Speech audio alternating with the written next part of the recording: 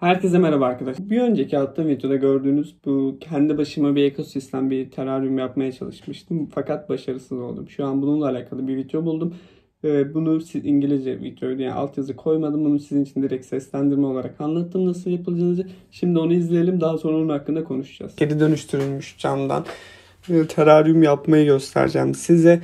E, içerisine çakıl veya perlit koyuyoruz. Ondan sonra lifli bez koyuyoruz. Şu an gördüğünüz gibi. Ondan sonra içerisine biraz daha kömür ekliyoruz.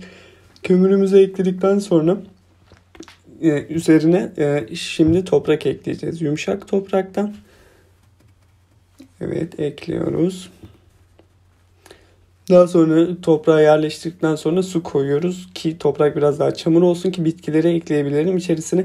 Yabani bitkiler koyuyoruz. Yabani bitkilerden sonra yosun koyuyoruz. Bu benim için önemli. Bu yüzden yosun koyuyoruz.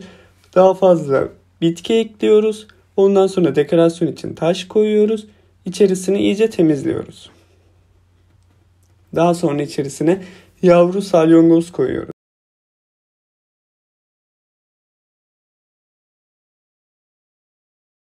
Evet arkadaşlar gördüğünüz gibi videoda e, bu şekilde yapılıyormuş. Bu e, TikTok kanalında gördüm. Bir arkadaşım benimle paylaştı. Daha sonra TikTok hesabına girdim baktım bu tarz bu şekilde teraryum yaptığı videolar e, paylaşıyormuş. E, hesabını da alt tarafa koyacağım. Eğer TikTok kullanıyorsanız bakabilirsiniz. Yaptığı teraryumlara. Ben de bununla alakalı birkaç şey deneyeceğim kendi çapımda. Bunları da sizinle paylaşacağım.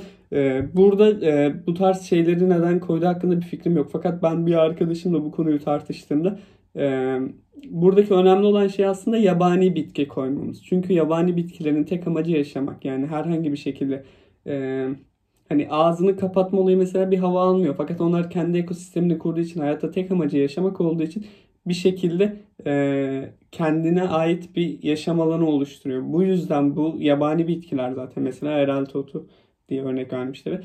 Bu yüzden zaten bu bitkiler yani binlerce yıldır e, hayattalar. E, bayağı geçmişe dayanıyor yani.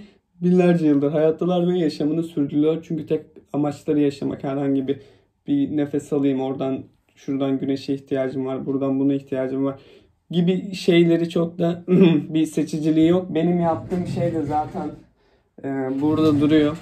E, aslında çöp oldu. Yani yanlış yapmışım.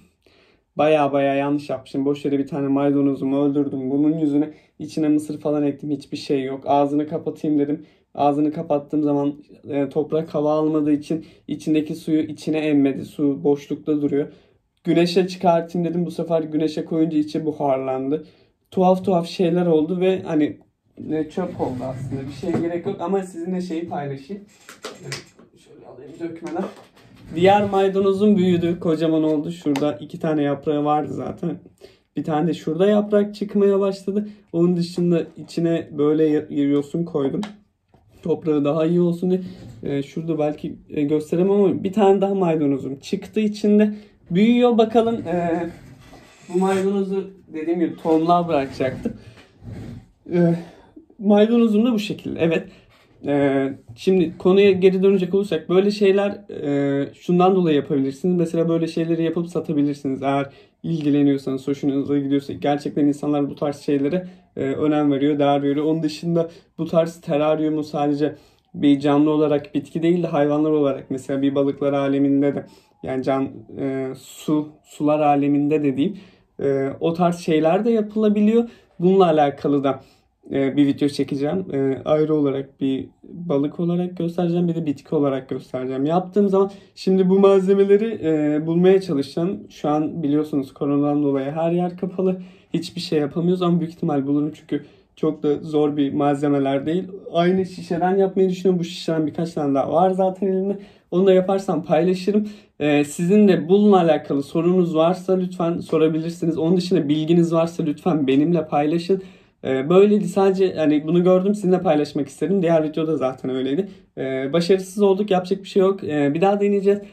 Yapacağız. Umarım başarılı oluruz. Umarım yavru salyangoz bulurum. Öyle kendime ait kendilerine ait bir hayatı odamda kurarlar yani. Neyse lafı çok uzatmayayım. Uzun bir video olmasın. Kendinize çok iyi bakın. İzlediğiniz için çok teşekkür ederim. Bu arada abone sayım gitgide artıyor. Bunun için de çok teşekkür ederim. Bayağı hızlı bir artışa geçti. Ee, ben böyle bir şey beklemiyordum. Bu kadar hızlı artacağını düşünmüyordum. Her şey için çok teşekkür ederim. Beğenip kanalıma abone olursanız çok memnun olurum. Herhangi bir fikir varsa da lütfen benimle paylaşın. Her şeyi açım. Herhangi bir konuda konuşabiliriz. Her şeyi sorabilirsiniz. Geziydi, şuydu, buydu vesaire. Neyse. Görüşürüz. Sizi seviyorum. Bay bay.